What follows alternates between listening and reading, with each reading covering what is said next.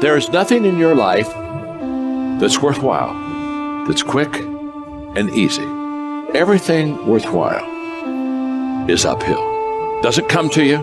You have to fight for it every day. You have to climb for it every day.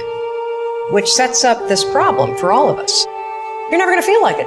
It's your job to make yourself do the crap you don't want to do so you can be everything that you're supposed to be. And you're so damn busy waiting to feel like it. And you're never going to. So I just need you to think about three people in your family that you love. Three people. So what I need you to do for me is I need you to think about those people every day when you're doing what you're doing. Do you have some days where you just want to hit the snooze button? Raise your hand for me. You want to hit the snooze button. So watch this. This is what has to happen. That person that you think about has to be louder than the snooze button. So when you think about granny, you gotta think about do I hit the snooze button or do I get up and make it happen for granny? Are you hearing what I'm saying? Who you doing this for? So the days you don't feel like getting up, just think about them. When you think about your siblings, when you think about mom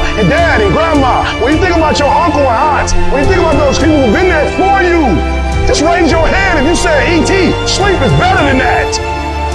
When that alarm clock goes off at 4 or 5 in the morning, your mind says no.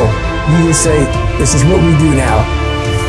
My new norm is you get up every morning at 4 o'clock and you suffer. That became my new fucking life. Most people want to get out of it. I said, no, motherfucker, this is your new life. This is who you are.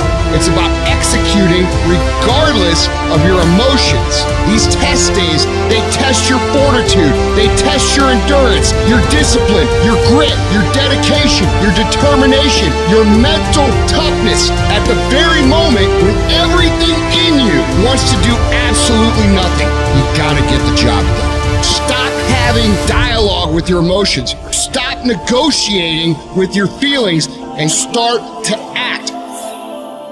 Your mind is a weapon, and you got to be able to use it and pick that weapon up and control it. I want to know what the f- I'm made of. I want to know what I can overcome. And I know that the harder the task, the harder the obstacle to overcome, the more strength I'm going to gain from it. It's an opportunity to prove that you're a winner. It's an opportunity to prove you are what you say you are in your head when you look in the mirror. When you in the mirror and you say, there goes a bad motherfucker, you actually believe it. That's the importance of passing these tests. Successful people love the experience of not feeling like doing shit, but then going and kicking ass anyway.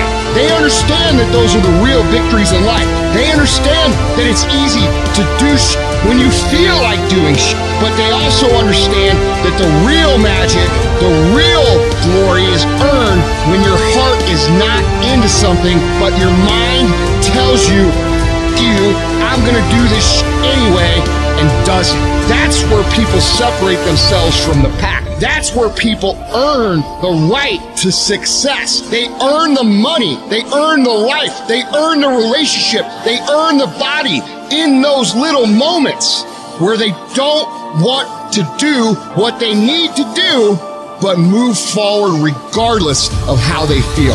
That's what champions know, champions understand, and champions thrive on. And you don't get here by quitting when you're tired.